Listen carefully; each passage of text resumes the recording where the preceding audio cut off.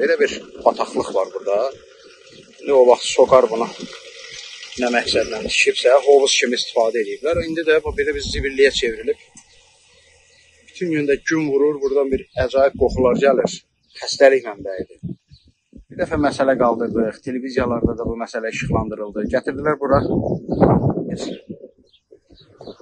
vaqon qoydular ki, hə, bunun tezliyi ilə həll edəcəyik, aradan qaldıracağıq. Heç nə eləmədilər. Bir iki ay burada vaqon qaldı. Sonra götürdülər, getdilər. Bax bu da onun kodudur. Ümid edirəm Sokar rəhbərliyi bu biabırçılığı görür və aradan qaldırılması üçün də tədbirlər görə bilər. Mən təklif edirəm ki, bax bu zibil yığınını buradan götürsünlər.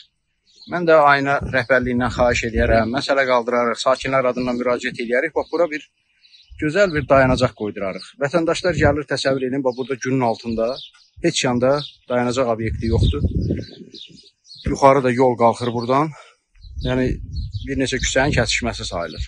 Gəlirlər bax burada bu işıq dirəyinin altında gözləyirlər avtobus dayanacaq əvəzi düzü şəhər istiqamətinə gedənlər. Bu tərəfə gedənlərin də dayanacağı elə bu yolun ortasıdır. Bu bataqlıq. İndi hal-hazırda mən bura qaşınmış asfalt gətirmişəm. Bu yamaqları doldurduram. Özüm də bayaqdan işləyirəm. Bu yamaqların hamısını doldurmuşuq. Azəraq da yoldan xahiş eləmişəm, sağ olsun. Daşınmış asfalt veriblər, bax. Dostum, qardaşım Süzəddin kömək edir. Və biz bu işlərlə məşğul oluruq. Sokarın da bu zibil yığını burada bütün gözəllikləri körlüyür. Bilmirəm, nə məqsədlə bunu burada saxlayıblar. Yanğın təhlükəsizliyi üçündür, içində su yox, bir mühafizə olunmur. Bura Nə bilim, cəmaət gətirir zibil atır. Necə ki, içi də bax gör, doludur, biabırçı vəziyyətdədir. Hər şey var da, bax, burada hər şey var. Bir-iki dəfə uşaqlar oynayanda düşüblər bura.